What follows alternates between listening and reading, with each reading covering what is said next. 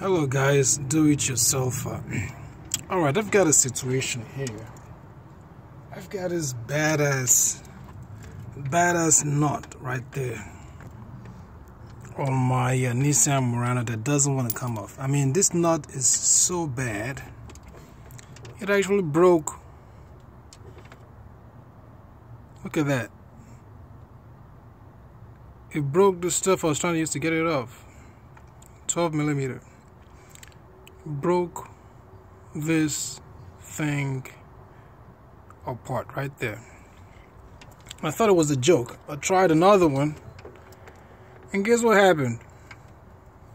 Same thing. Broke it. Look at that. Two of them broken. So right now I decided to put some uh, WD-40 on there. That's the liquid you see on that. Hopefully that could uh, loosen it out a little bit and uh, and uh, get it loose. Funny enough, I was one to tighten that nuts over there. And um, I don't know. I don't know what I did, but it's it's as tight as it can possibly be. So let's see what happens. Do it yourself right here.